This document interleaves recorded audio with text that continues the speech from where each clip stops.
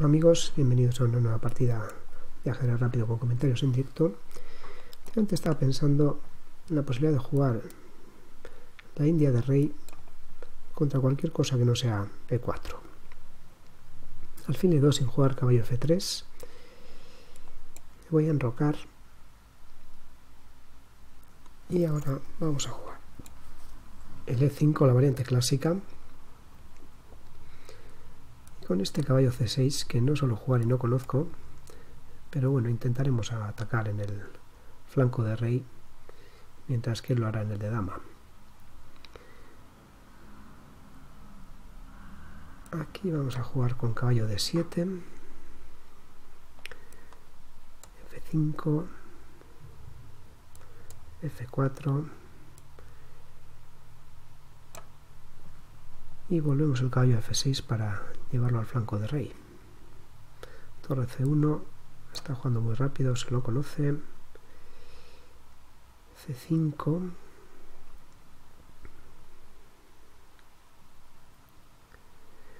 Bien, aquí hay que tener, cuidado con, con, C7, ¿no? Caballo B5. Voy a jugar torre F7.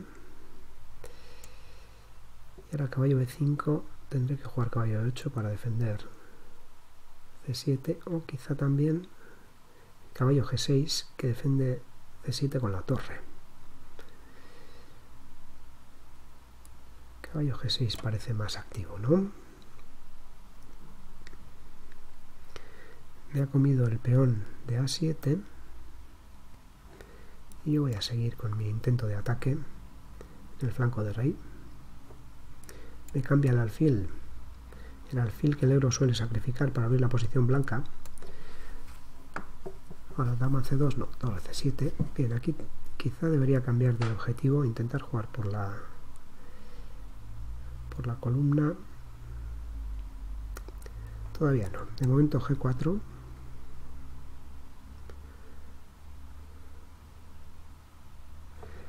Dama b3 torre C1, vamos a evitar torre C1 con torre C7.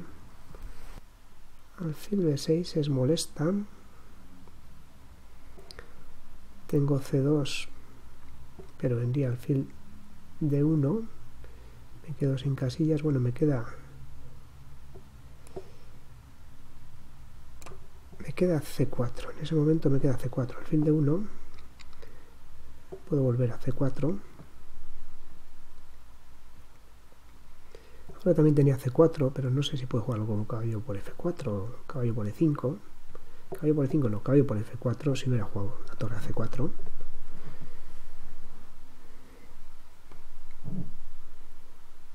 Y ahora lo que decíamos al fil de 1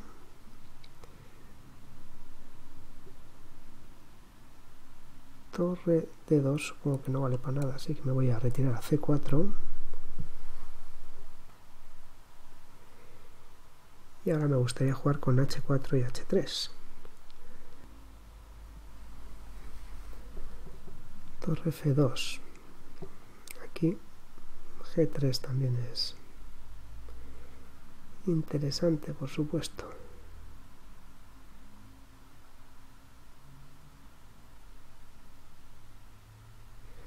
H por G, F por G, torre C2, cambiar intentar llevar la dama a h4 pero eso no es tan fácil no, no es posible siquiera. H4 entonces. Torre c2 si estamos en las mismas tengo que cambiar. Damas no quiero cambiar pero entonces va a entrar. Si no cambio damas va a entrar por lo tanto voy a cambiar voy a jugar con el h3 este que decían tiene ventaja, tiene ventaja, tiene un peón de más en el flanco de dama. Y bueno, lo que quiero es debilitar su cadena de peones de forma que pueda en un momento dado comer e4. Ah, alfil c7. Bien, pero aquí quería jugar así, amenazando el alfil. Y ahora puedo abrir la posición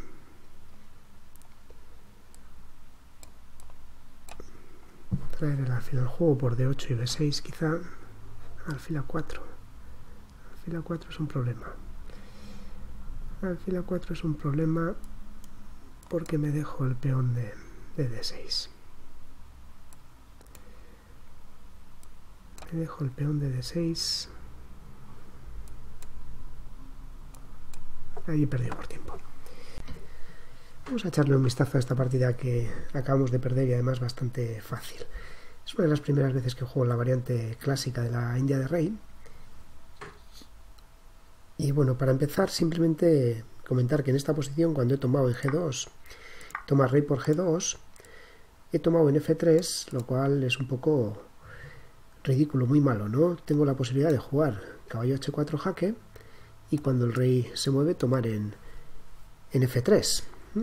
Me he ido a F2 con el rey porque quería jugar ahora con H3. Lo que pasa es que esto es muy malo porque viene caballo de 4, se ataca el alfil y cuando el alfil se vaya se toma en H3. ¿no? Entonces el rey tendría que venirse pues quizá una H1 para seguir defendiendo H2. Y bueno, pues el negro vuelve a la partida. Seguramente sigue estando peor, probablemente sea lo que opine el ordenador. De hecho viene, claro, el alfil A4 que se jugó en la partida, que como amenaza el caballo de 8, pues hace que el blanco vuelva a ganar un peón. Pero en todo caso esto parece mejor que lo que ha ocurrido en la partida, al menos el negro tiene un peón pasado y quizá la posibilidad de, complicar un poquito. Bien, eso respecto del final. Respecto de la apertura, respecto de la apertura de esta India de Rey, bien, aquí caballo E1 es una de las variantes principales, hay alguna más como, como caballo D2, pero caballo 1, la idea es que el caballo viene a D3 para apoyar C5, y por eso el negro juega caballo D7 para proteger ese punto, aparte de que ese caballo D7 permite F5, ¿no? Alfil de 3 con más apoyo a C5. El negro empieza su ataque o su avance en el flanco de rey. F3 que protege 4 y deja un hueco en F2 al alfil. Y aquí ya he jugado una mala. Caballo F6 no se juega. He visto posteriormente que el caballo se mantiene en D7 porque queremos seguir controlando C5 de alguna forma y lo que se juega es un G5 inmediato. La idea es después venir con el caballo, con este caballo a G6 y seguir con el, el avance en el flanco de rey, pero el caballo se mantiene al menos algún tiempo más en D7. Bueno, pues a ver si en la siguiente partida en la que jugamos esta variante nos acordamos de esto y la jugamos un poquito mejor. Gracias por ver el vídeo y hasta la siguiente partida.